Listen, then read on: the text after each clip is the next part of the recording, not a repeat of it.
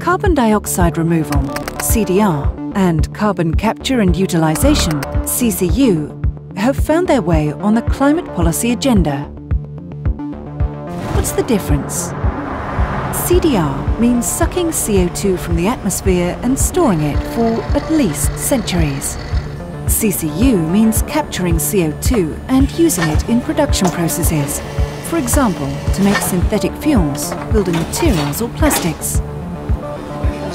Certain companies try to portray all CCU as CDR, but they are not the same thing. Most CCU applications capture industrial pollution instead of removing carbon from the atmosphere. These processes don't avoid all CO2 emissions and can use a lot of energy.